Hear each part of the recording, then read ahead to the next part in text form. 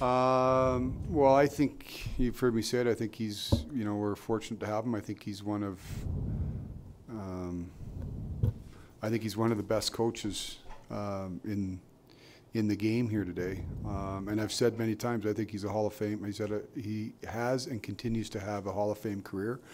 Um, the structure that he puts in place, you know, his ability to drive teams. Um, it was a natural, and so Darryl and I talked over the summer, and we've been working on it, and good to get it, good to get it concluded.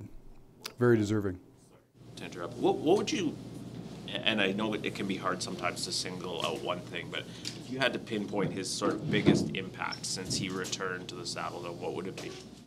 Well, I, I said it at the day the the day we brought him in is um, structure and accountability are the two things that, to me, are calling cards of Darryl. You know, the, structure in which his team plays, and the accountability to the team, the accountability to the individual um, and he's got the ability to maximize, you know, maximize players' abilities. So um, he's done it in every place he's been. He's done it throughout his career.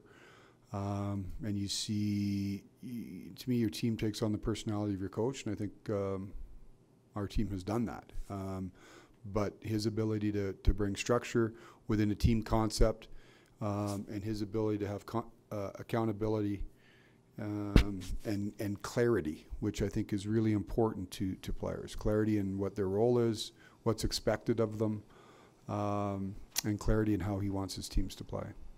Did you uh, did you feel any urgency to get it done in the sense that you know he was going into the last year of his contract, or was it just a we've made up our minds, let's get this done? Well, we're certainly aware of where he. I was certainly aware of where he was you know, in his in his contractual status. So, um, but to me, it was a it was a no brainer. It was just you know getting it, you know, getting something that he and he and I were comfortable with. We were able to do it, but um, to me, that you know that was that was one of the priorities on the list when when last year ended, and we were able to get it done. Were able to say how long for or anything like that, or multi-year, more than one. No, it's a it's a two year extension. He's got this year left, and then he's got uh, two year extension.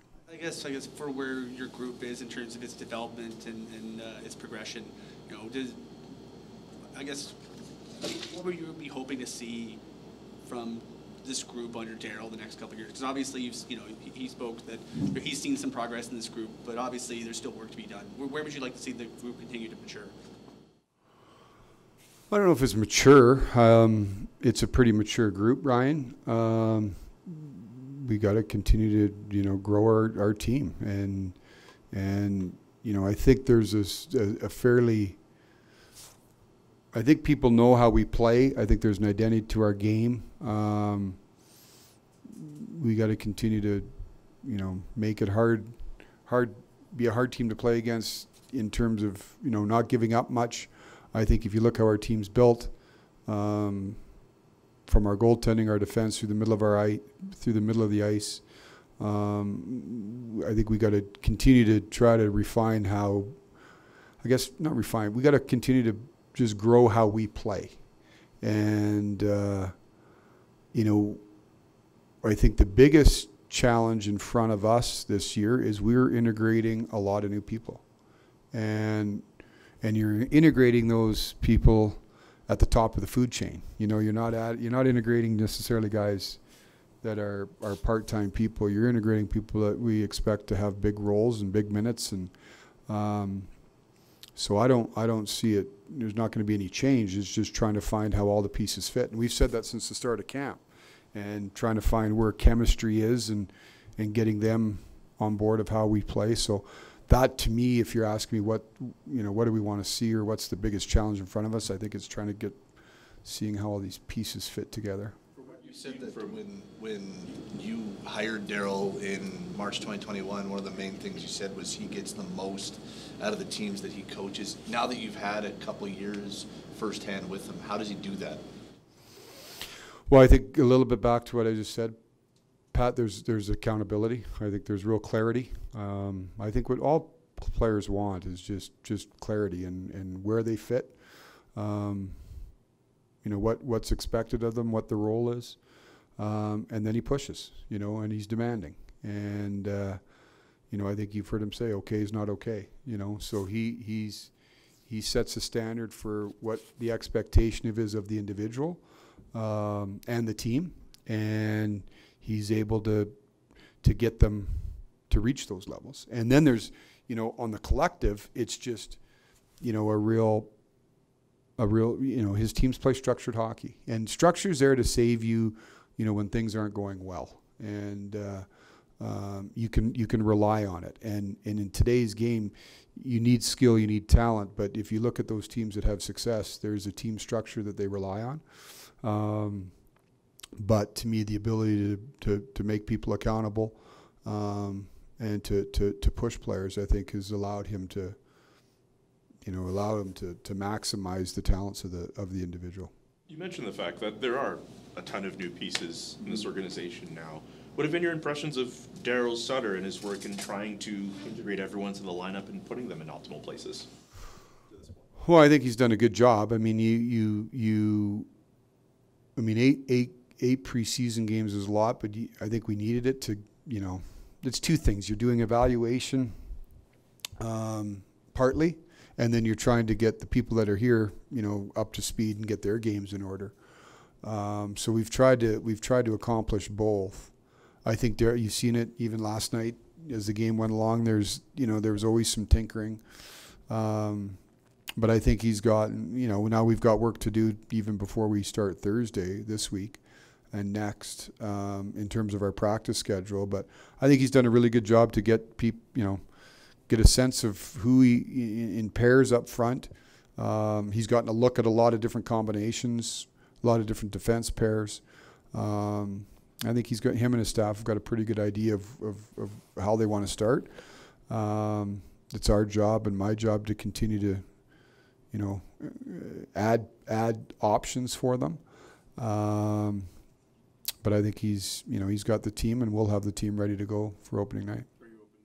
Adding external help between now and Thursday to put your team in a position?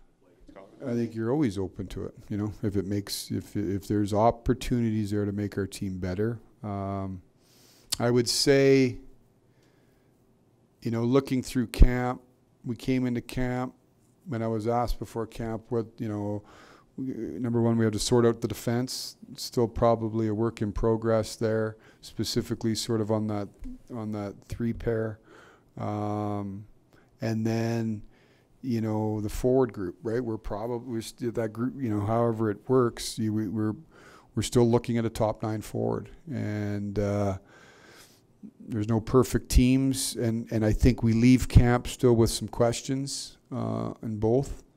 Um, so we'll keep working away, and like I said, if there's if there's opportunities to help us today, tomorrow, and, and moving forward, that's the job is to continue to look for those. Do you have anybody on waivers today? We do. We have um, three players on waivers today: Juuso Valimaki, Dennis Gilbert, um, and Radim Zohorna are all three on waivers today, and we'll you know, we'll, I, I think you guys know I don't like to comment too much on that until we go through that process. Um, but those three are on there on waivers today, and it's, you know, like I said, I think longest sort of guy here with with me is is um, is Juuso, um, and I think we all know it's been a it, it's been a tough couple of years for Juuso. Um, you know, he's gotten he, he'd had some injuries um, and then just getting some traction here the last little bit. So we'll see. We'll see where it all goes, and and uh, but we've got to, you know, we're like everybody else. We got to get down in our roster situation. The the Oliver Kylington situation also is number one. Our our number one focus is Oliver's well-being. Um, but there's also cap implications and all those types of things that, that factor in. So um, there's a bit of a, you know, we've got some things going on. You, you provide any clarity on Kylington yet, just in terms No. of? That's the same. As I told that day, he's it's a personal matter, and until there's clarity on it, we'll leave it at that. And one more, just about Darryl Sutter, you, you guys, you've signed a few free agents in recent years, and and players talk. You know, how important is it when players endorse a head coach or the culture or structure that he's built over here? And how important is that in terms of re-signing Sutter and bringing him back? In terms of, Just just players endorsing and, and kind of clearly when you bring in the likes of Huberdeau and Weegar, they're talking to their peers. and they've heard good Well, I think he is, Salam, he's well known, like, he, he's been around, right? People know, and I think his reputation precedes himself, right? Sometimes the bark's a little bit worse than the bite, you know, you think, oh, this story, you know, is he, what kind of coach is he, or how hard is he, and all these types of things, but I think you find that players that play for him, they know they're gonna get pushed, they know there's gonna be accountability, you know there's gonna be structure in the team. Ultimately, Salam, I always say the coaches, the, the, the players, players want to be coached, right? Co- they do. They, they, you know, and, and, and, you know, they want to get better. And some, there's some days that, you know, all of us, none of us like to sort of get pushed, you know, it's not easy, but, um, they know that makes them better. They know it makes their team better.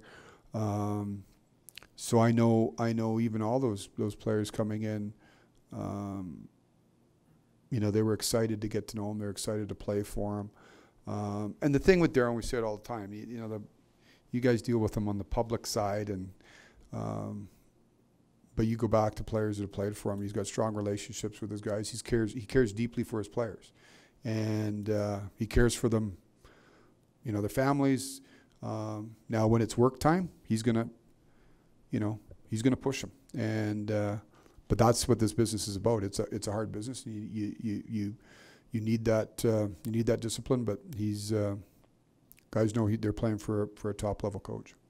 Do you have a structure for getting your roster ready for Monday? Are you, like, are you at a twenty-two man situation, a twenty-three, a set combination of forwards and defensemen? Like, how are you approaching building that roster out? Yeah, we've got a bunch of different scenarios. Um, we'll see. Like I said, a lot of this is going to be there's there's cap implications when you look at you know Kylington's cap number and him not being available and um, you know not to bore you guys with you know he's got to show up on a roster and potentially down the road if there's an LTI placement you want to eat up as much of your salary uh, cap as you can or you want to get as close to the salary cap as, as you can so there'll be some um, you know there'll be some cap maneuvering as we go through it and ultimately you're trying to ice the best roster you can Sorry, can I just clarify that? Are you waiting for the league on what you can do with Oliver's salary if he's not here for opening night, or are you just deciding how you're gonna treat it?